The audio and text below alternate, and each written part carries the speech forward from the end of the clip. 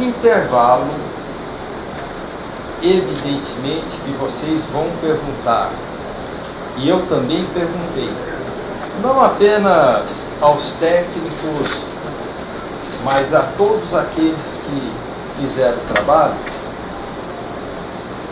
vai haver uma perda.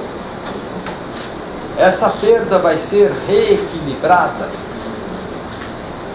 Primeiro ponto que fez eu me convencer absolutamente.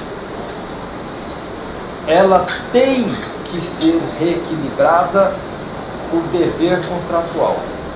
Todavia, ninguém vai pagar mais do que consumir.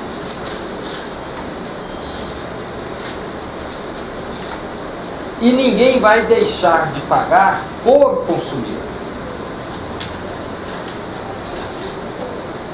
Ah, então quer dizer que você tira dos pobres e vai passar para os ricos. Não é isso.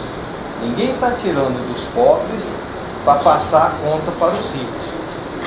O que nós estamos fazendo é o seguinte: o que você, consumidor de 0 a 10, utilizar, você vai pagar. O que você, consumidor, de 10 metros cúbicos a 1 bilhão de metros cúbicos consumir, você vai pagar. Porque é justo. O que hoje não é feito assim. Mas e como é que vai fazer a, a, a diferença na empresa? Porque a empresa vai deixar de arrecadar, é uma empresa privada. Ela que como é que a agência vai contrate, trabalhar isso? ela que contrate empresas e sob a supervisão da prefeitura municipal, nós vamos ver se esse reequilíbrio é justo ou não. Perfeito. Mas esse É, equilíbrio é. Desculpa, pode falar. é, o senhor mencionou que foram feitos ao longo de oito meses estudos para apontar isso. Dentro desse universo de consumidores de até 10 metros cúbicos, vocês têm uma ideia da média que eles efetivamente consumiam, do quanto que eles estariam pagando a mais?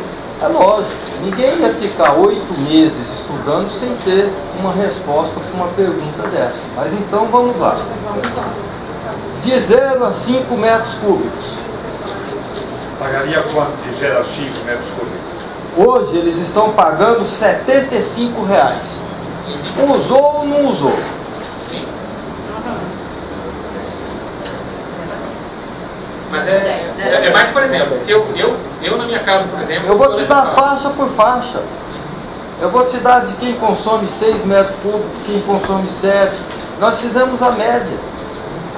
Tá? São 55